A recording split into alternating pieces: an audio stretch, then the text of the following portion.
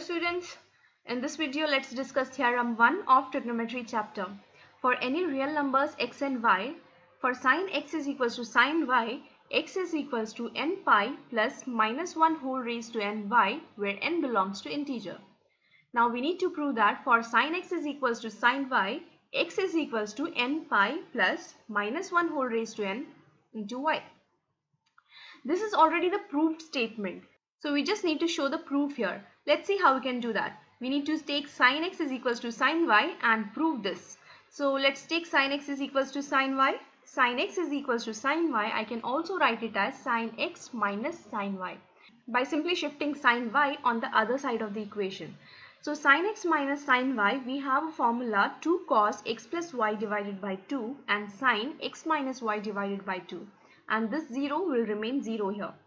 This 2 will disappear when I'll divide the 0 by 2. So what will remain is cos x plus y by 2 and sine x minus y by 2.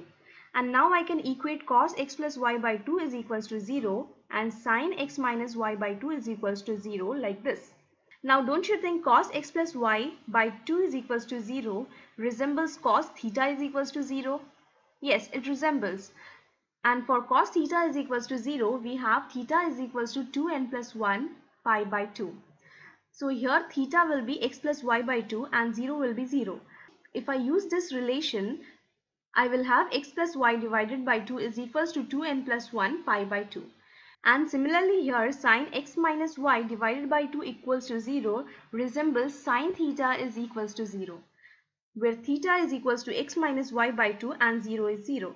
For sine theta is equals to 0, we have a relation theta is equals to n pi. Then for this sine x minus y by 2, the, this relation will be like x minus y by 2 is equals to n pi. So I write the same relations here. This relation I write here and this relation I write here. Next 2 2 get cancels and what remains is x plus y 2n plus 1 and pi and here this 2 get multiplies to 2n pi. As we are interested in finding x is equals to n pi plus minus 1 whole raised to n into y, we can shift this y on the other side of the equation. Because see here, we have x on the left hand side and y on the right hand side. So let us shift this y on the other side of the equation. And here also let's shift this y on the other side of equation. Like this. Next, as I told you, we are interested in finding this relation of x. So when I compare these two results of x, so here pi is accompanied by 2n and here pi is accompanied by 2n plus 1. So instead of writing 2n, 2n plus 1, we can generalize it to n pi, isn't it? And we also have a y here, but minus 1 whole raised to n is missing. For that, we need to make some changes to this equation.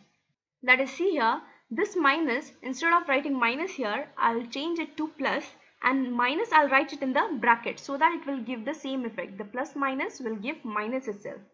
And as I need the minus 1 here, I'll take minus 1 and I'll raise 2n plus 1 as power.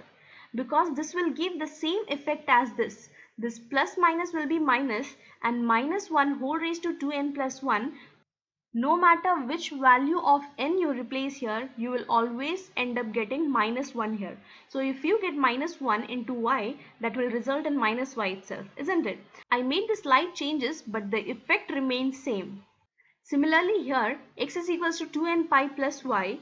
What I'll do is, instead of plus here, plus I'll write it here and minus 1 and this 2 raised to n, I'll raise it here and minus 1 2 raised to n no matter what which values of n you put you will always end up having a plus 1 here. So plus 1 into y will be plus y. I've just made them changes with the same effect.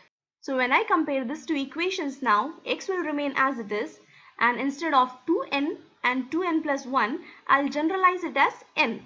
And this pi and the plus here also we have plus and minus 1 we have on both the sides. And 2n and 2n plus 1 let's generalize this at n and you have both the sides y that is y here. That's all. So if you have any doubt let me know in comments. Thank you